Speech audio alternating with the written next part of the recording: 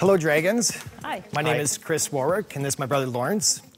About five years ago, we, we discovered craft beers, and uh, totally changed our world.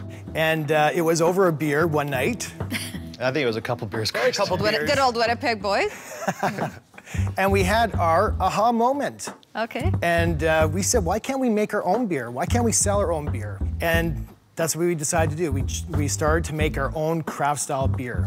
So this is a premium lager. And would you guys like to try? Sure. sure. That's a mighty fine beer. Thank you. It's actually really, really good.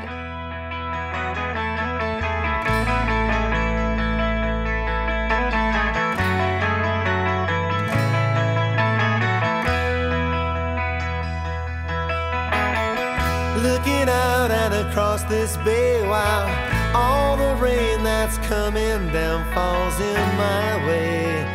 But long may it rain. How did these days turn themselves into years and lead us to our standing here where we can't explain? But long may it rain. Long may